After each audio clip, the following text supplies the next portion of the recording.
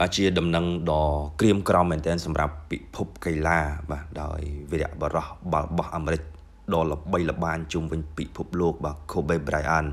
បានបាត់បង់ជីវិតជាមួយនឹងកូនស្រីអាយុ13ឆ្នាំព្រមទាំងអ្នករួមដំណើរជាច្រើនអ្នកផ្សេងទៀតដោយសារតែអធមភាគចៈផ្ទាល់ខ្លួនរបស់លោក បានធ្លាក់បាទហើយឆេះធ្វើឲ្យអ្នកដែលស្ថិតនៅលើឧទ្ធម្ភាគចក្រនោះទាំងអស់បាទបានបា ត់បង់ជីវិតគ្រប់គ្នាมันមានអ្នករួចរស់ជីវិតឡើយ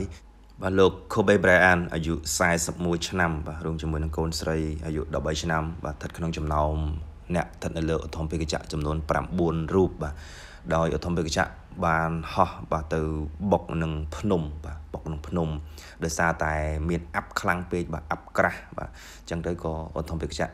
ត្រូវបានរីកាមកថាបានបុកភ្នំបាទរួចហើយក៏ វិលធ្លាក់ឆេះទៅ បាទធ្វើឲ្យអ្នកដែលស្ថិតនៅលើឧទ្ធម្ភាគចក្រទាំងអស់បាត់បង់ជីវិតគ្រប់គ្នាបាទទាំង9រូបរួមទាំងលោក Kobe Bryant ហើយនិងកូនស្រីបង្កើតអាយុ13ឆ្នាំឥឡូវនេះអាមេរិកកំពុងតែធ្វើការស៊ើបអង្កេតឧបទ្ទវហេតុដ៏សោកនាដកម្មនឹងហើយបាទ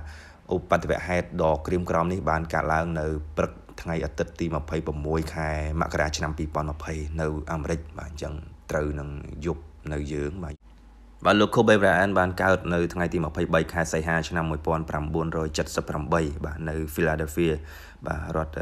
Pennsylvania សហរដ្ឋអាមេរិកហើយក៏បានស្លាប់នៅ Calabasas បាទរដ្ឋ California វិញនៅថ្ងៃទី26ខែមករាឆ្នាំ2020បាទគាត់បានចំណាយពេលវេលានៃអាជីពជាកីឡាករបាល់បោះរបស់គាត់20ឆ្នាំនៅក្លឹបតែមួយទេ បាទគឺ Los Angeles Lakers បាទហើយគាត់បានរួមចំណែកជួយ ក្លឹបបាល់បោះមួយនេះឈ្នះពានរង្វាន់ច្រើនណាបាទដូចជាជើងឯក NBA 5ដង បាទហើយក៏បានឈ្នះពានរង្វាន់ផ្ទាល់ខ្លួនច្រើនមែនទែនបាទរួមទាំងពានជាកីឡាករបាល់បោះឆ្នើមបំផុតនៅ NBA ប្រចាំឆ្នាំ2008ផងដែរបាទគាត់ជាប់ក្នុង NBA All Star 18ដង បាទជាប់ក្នុង NBA All Star Game MVP 4ដង បាទជាប់ All NBA First Team 11ដង បាទជាប់ច្រើនណាបាទ ហើយនៅក្នុងក្រុមបាល់បោះជម្រើសជាតិអាមេរិកវិញបាទគាត់បានរួមចំណែកជួយអាមេរិកបាទឈ្នះមេដាយមាសអូឡ িম ពិក2008នៅចិនហើយនិងអូឡ িম ពិក2012នៅឡុងដុងបាទនៅអង់គ្លេសរួមទាំងពានរង្វាន់ FIBA Americas Championship បាទ2007ផងដែរហើយក្នុងអាជីពរបស់គាត់គាត់ពាក់អាវចំនួន2លេខផ្សេងគ្នាគឺលេខ8ហើយនិងលេខ24បាទក្នុងអាជីពរបស់គាត់បាទគាត់ល្បីល្បាញខ្លាំងណាស់បាទ គាត់គឺជានិមិត្តរូបបាទគឺជាបុគ្គលគំរូបាទសឹងតែសម្រាប់គ្រប់គ្នាមិនថាតែអ្នកចូលចិត្តកីឡាបាល់បោះឬមួយក៏ចូលចិត្តកីឡាផ្សេងផ្សេងទេបាទអញ្ចឹងគ្រប់គ្នាមានការសោកស្ដាយយ៉ាងខ្លាំងចំពោះការបាត់បង់របស់លោក Kobe Bryant បាទក្នុងវ័យត្រឹមតែ41ឆ្នាំបាទគាត់ផ្ដើមអាជីពក្នុងឆ្នាំ1996បាទចូលនិវត្តន៍នៅក្នុងឆ្នាំ2016 20ឆ្នាំគត់នៅ LA Lakers បាទបន្ទាប់ពីបានដឹងដំណឹងដ៏ក្រៀមក្រំនៃការបាត់បង់ជីវិតរបស់លោក Kobe Bryant និងកូនស្រីអាយុ13ឆ្នាំព្រមទាំងអ្នករួមដំណើរចំនួន7រូបផ្សេងទៀតបាទមនុស្សជាច្រើនបានបង្ហាញការសោកស្ដាយនិងចូលរួមរំលែកទុក្ខជាមួយក្រុមគ្រួសាររបស់លោក Kobe Bryant ហើយខ្ញុំសូមដកស្រង់នៅសំណេររបស់តារាបាល់ទាត់និងក្លឹបបាល់ទាត់ល្បីៗមួយចំនួនមកបង្ហាញជូនទីមួយគឺ Romelu Lukaku បាទ អតីតខ្សែប្រយុទ្ធរបស់ Chelsea Everton West Brom Manchester United និងបច្ចុប្បន្នកំពុងតែលេងឲ្យ Inter Milan ក្នុងប្រទេសអ៊ីតាលីក៏ដូចជាក្រុមជម្រើសជាតិ Belgium Lukaku បានសរសេរលើគណនី Instagram របស់គេថាស្មារតីផ្លូវចិត្តហើយនឹងការខិតខំប្រឹងប្រែងរបស់អ្នកបានជំរុញទឹកចិត្តរបស់ខ្ញុំយ៉ាងខ្លាំងចាប់តាំងពីពេលខ្ញុំយល់ថាដើម្បីក្លាយជាកីឡាករអាជីពម្នាក់ត្រូវធ្វើម៉េចខ្លះ អ្នកកំពុងតែរីករាយនឹងជំពូកថ្មីនៃជីវិតរបស់អ្នកហើយការចាក់ចេញរបស់អ្នកទៅក្នុងរបៀបបែបនេះគឺពិតជាខ្លោចចិត្តខ្លាំងណាស់ខ្ញុំស្រឡាញ់អ្នកខ្លាំងណាស់បាទចំណែកក្លឹប Barcelona ដែលមានទាំងក្រុមបាល់ទាត់មានទាំងក្រុមបាល់បោះបានសរសេរលើគណនី Twitter របស់ពួកគេថាជាអត្តពលិកដ៏គំរូម្នាក់ទាំងនៅលើទីលានបាល់បោះនិងនៅក្រៅទីលានបាល់បោះ ពួកយើងសូមចូលរួមរំលែកទុកយ៉ាងក្រៀមក្រំបំផុតចំពោះក្រុមគ្រួសារនិងមនុស្សជាទីស្រឡាញ់របស់លោក Kobe Bryant សូមវិញ្ញាណក្ខន្ធលោកបានទៅកាន់សុគតិភព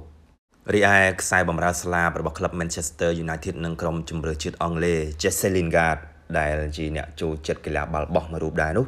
បានបង្ហោះលើ Instagram របស់គេថាជាវីរៈបុរសនិងជានិមិត្តរូបដ៏ពិតប្រាកដម្នាក់ចំពោះមនុស្សរាប់លានអ្នកនៅជុំវិញសកលលោក អ្នកធំជាងកីឡាដែលអ្នកបានលេងហើយអ្នកបានជំរុញទឹកចិត្តមនុស្សយ៉ាងច្រើន រួមទាំងរូបខ្ញុំម្នាក់ផងដែរសូមវិញ្ញាណក្ខន្ធស្ដេចបាល់បោះបានទៅកាន់សុគតិភពបាទចំណែកវីរៈបរោះបាល់ទាត់អ៊ីតាលីបាទលោក Andres Pirlo ដែលជាអតីតខ្សែបម្រើដ៏ឆ្នើមនៃក្លឹប Brescia Inter Milan AC Milan Juventus និង New York City ដែលជាក្លឹបនៅក្នុងអាជីពចុងក្រោយរបស់លោកនៅអាមេរិកបាទក៏ដូចជាខ្សែបម្រើដ៏ឆ្នើមរបស់ក្រុមបាល់ទាត់ជម្រើសជាតិអ៊ីតាលីពីឆ្នាំ2002ដល់2015នឹងបានលើកពាន FIFA World Cup 2006នៅអាល្លឺម៉ង់បាន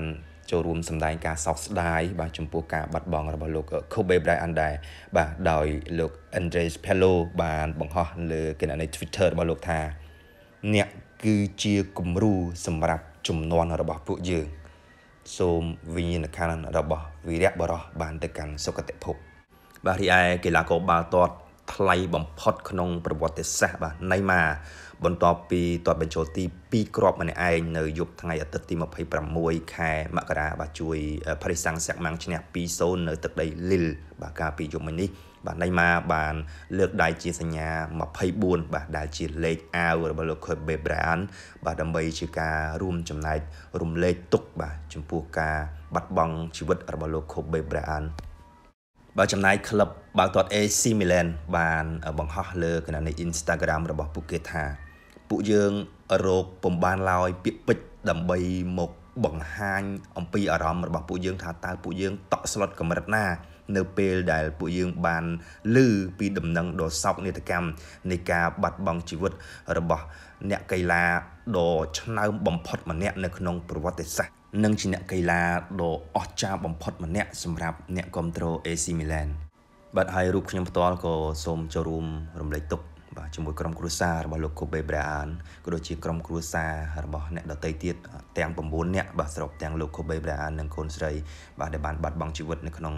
ឧបទ្ទវហេតុបាទដ៏សោកនាដកម្មនៃការធ្លាក់ធម្មភិកចៈបាទ នៅ Calabasas រដ្ឋ California កាលពីព្រឹកថ្ងៃអាទិត្យទី26ខែមករាឆ្នាំ2020នៅសហរដ្ឋអាមេរិកបាទដោយអូថូមីកចាក់ផ្ទាល់ខ្លួនរបស់លោក បានហោះទៅបុកនឹងភ្នំ បាទដោយសារតែអាប់ក្រាស់ពេកបាទមើលផ្លូវមិនឃើញច្បាស់បាទអញ្ចឹង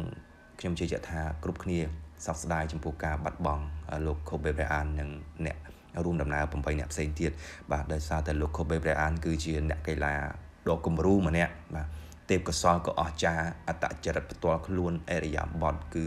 ពិសេសមែនទែនគឺជាគំរូនៃមនុស្សគ្រប់គ្នាតែម្ដង